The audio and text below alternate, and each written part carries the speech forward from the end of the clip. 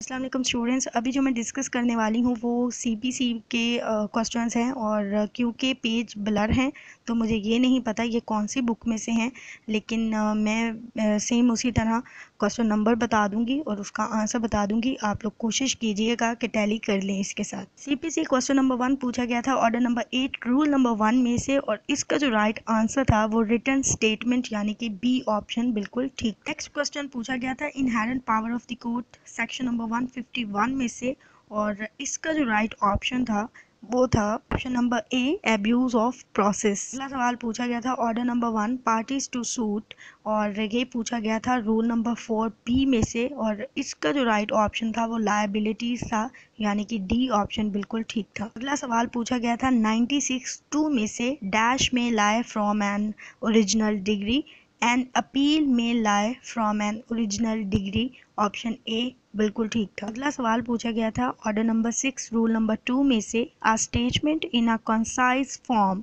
of the material fact तो ये जो मटेरियल फैक्ट था, ये इसका राइट right ऑप्शन था। अगला सवाल पूछा गया था section number one zero four two में से नो अपील शेल लाए तो इसका जो राइट right ऑप्शन था, वो नो अपील था। अगला सवाल पूछा गया था order number nine rule number three में से where neither party appears suit to be dismissed तो इसका जो राइट right ऑप्शन था, वो डिसमिस था। अगला सवाल पूछा गया था order number thirty nine rule number four में से order for injection may be discharge varied और सेट असाइड तो इसका जो राइट right ऑप्शन था, वो एनी पार्टी था। अगला सवाल order number forty one rule number seventeen B में से पूछा गया था और ये है ही एक्स पार्टी के मतलब तो इसका जो राइट ऑप्शन था वो एक्स पार्टी ही था। अगला जो सवाल पूछा गया है बेसिकली जो उन्होंने स्टेटमेंट दी हुई है वो section number nine courts to try all civil suits unless barred की दी हुई है और इसका जो राइट ऑप्शन है वो बनता है एक्सप्रेसली लेकिन जो यहाँ मुझे नज़र आ रहा है, उन्होंने सेक्शन थ्री लिखा हुआ है। ठीक है तो ये एक मिस्टेक है।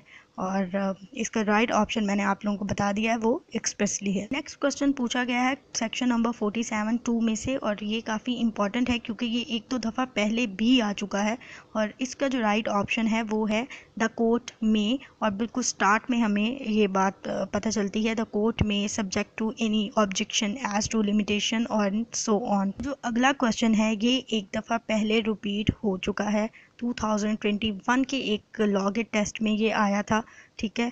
तो इसीलिए मैं आप लोगों को कहती हूँ कि जो प्रीवियस पेपर्स हैं प्लीज़ उनको देख के जाया करें, क्योंकि एक आधा सवाल वहाँ से आ जाता है तो वो एक आधा नंबर होता है। तो ये जो लिया गया है क्वेश्चन ये टू वन में से लिया गया है, जिसमें हमें पूछा गया है कि कोड में क्या शामिल होता है।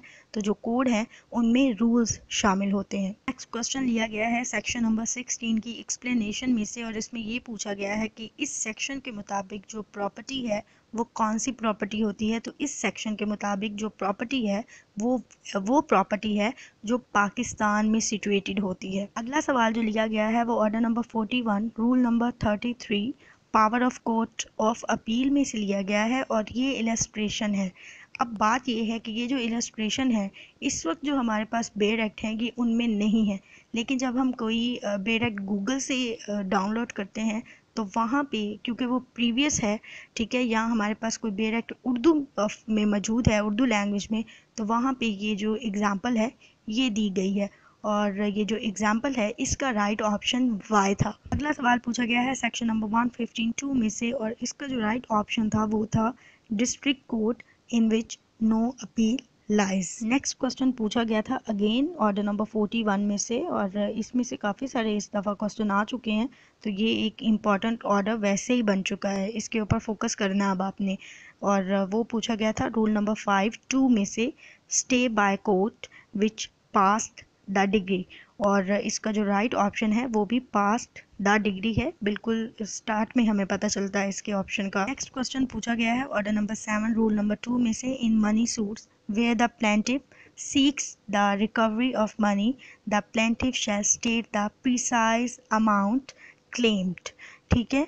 प्रिसाइज अमाउंट क्लेम्ड ये जो है, ये राइट ऑप्शन है। सवाल डेफिनेशन क्लॉज 213 में से लिया गया था। Movable property includes growing crop. Next question लिया गया था सेक्शन नंबर 19 में से और मैं बिल्कुल हैरान हूँ।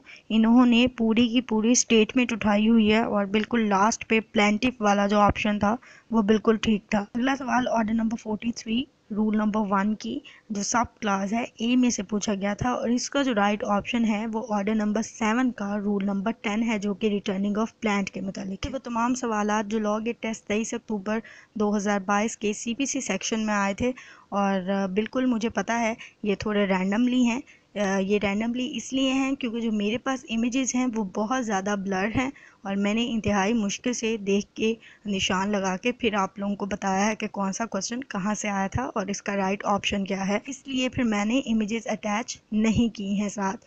और दूसरी बात ये है कि इस दफ़ा जो क्वेश्चन आए हैं, वो ज़्यादा लिए गए हैं ऑर्डर में से। पहले क्या होता था? पहले ये सेक्शन में से ज़्यादा लेते थे ऑर्डर में से एक आधा क्वेश्चन आता था। इस दफ़ा उन्होंने ऑर्डर को टच किया है। इट्स मीन के नेक्स्ट जो लॉगेज होगा, उसमें मे भी ज़्यादा से ज़्यादा क्वेश्चन ऑर्डर में से ही आ जाए। तो अब जो आप लोगों ने फोकस करना है अपना, वो ऑर्डर्स पे भी करना है। ये एक टिप है नेक्स्ट लॉगेट टेस्ट के लिए। तो इसको माइंड में रख के अगले लॉगेट टेस्ट की जिससे भी तैयारी करनी है, वो कीजिएगा। और अल्लाह ताला आप सबको कामयाब फरमाए। आम